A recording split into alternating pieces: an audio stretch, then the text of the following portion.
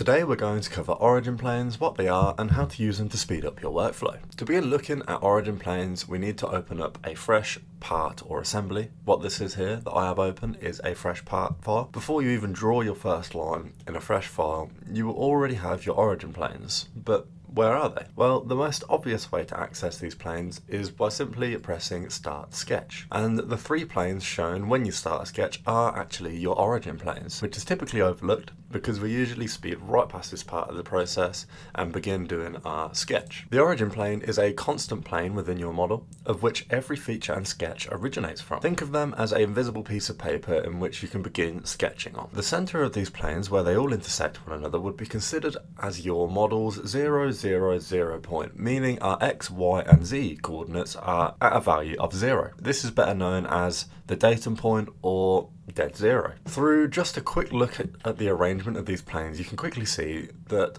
all of them relate to our three different axes, the X, Y and Z axis. So these can be used to start sketches, as you likely know, but they can also be used within other aspects of the software, including the assembly environment. Before we move into an assembly, I'd like to touch on what's possible with the standalone parts with these planes. Now the most common way I use these origin planes is as a center line for my parts. In order for them to be used as center lines, a little bit of forward thinking needs to be employed to ensure that once your model is complete, your origin planes will in fact be central. Otherwise they won't function too well as a center line, since the only use of a center line is to define the center point, and if they're not central, then they're not that useful to us. So the way I ensure that my origin planes remain central is to first do whatever sketch that it is that you're looking to do, and once we make our first extrusion to create a 3D body, we need to make sure that our extrusion behavior settings are set up in such a way that the direction parameter is controlled symmetrically, and that is using this button here. And ultimately, this is quite literally the press of a single button when extruding.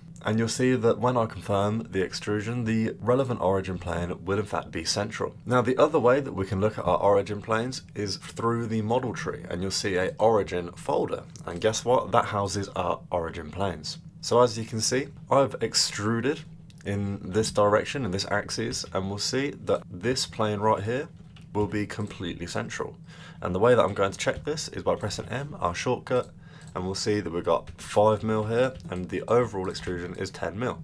So now we can see that we have a centralized origin plane, all because we've thought ahead a little bit and changed the uh, behavior of our extrusion. At the moment, this is the only plane that is centralized. The other origin planes aren't currently centralized because I didn't centralize the sketch around our datum. This can then be achieved through amending our sketch by opening up our original extrusion, double clicking into our sketch. We just need to amend it so that our geometry is symmetrical around our datum point.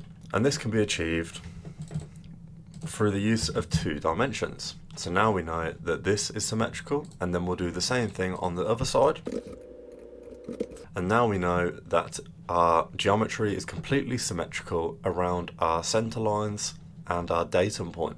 So when I press finish sketch, all of our origin points now are completely centralized. The reason I tend to do this is quite simply to prevent me from creating another plane in the model as my center plane. In my head it makes a lot more sense to use our origin planes as the center lines since they're already in the model. Now why would I need a center plane in my model? Well for mirroring of course. Any features that I create on one side of the plane and I'll just delete the other one so that we know which one I'm talking about. Any features I create on one side of the plane can quickly be duplicated symmetrically around our origin plane. So that basically covers the use of the centralized origin planes in the part, but we can also make use of these in the assembly environment since we're capable of assigning constraints against these planes. So in the event that I'd like to centralize a part relative to another, I can simply toggle the origin plane found in the model tree, and then I can apply my constraints. So if I wanted the center of this part here to align with this edge, I can simply apply a constraint to the center line or our origin plane and now we know that it will always be central. It is in the assembly stage that you'll really appreciate the fact that you thought ahead at the start of your modeling process because if you didn't then you'd be forced to open up your model and then create yourself a center plane using your plane tool. Now this might not take too long for one or two parts but if you happen to be working with many, many different parts, then opening each part file individually and repeating the same process doesn't sound like an efficient use of time to me. So ultimately, I like to use my origin planes as pre-generated center planes in order to save myself the time and hassle of creating the plane myself. In conclusion, origin planes are versatile tools that can be utilized throughout the modeling process and with a little forward planning, a lot of time can be saved. If this video helped you understand origin planes, imagine how much faster you'll learn with my full Inventor course. Click the link in the description to begin mastering your skills today and thank you for watching.